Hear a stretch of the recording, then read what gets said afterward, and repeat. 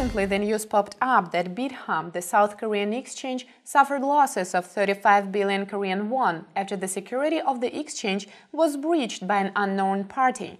According to the media, the amount lost is equivalent to $31.5 million. The hack was first reported on 10th of June 2018, and an announcement followed that Bithumb will try its best to recover all their losses by using their own reserves and working with other agencies.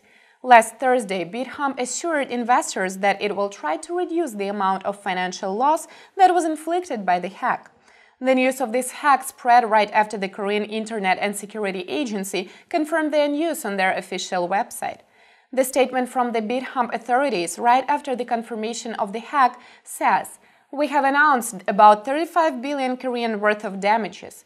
Bithumb is reducing the amount of damage through ongoing damage recovery, so future figures are expected to be lower.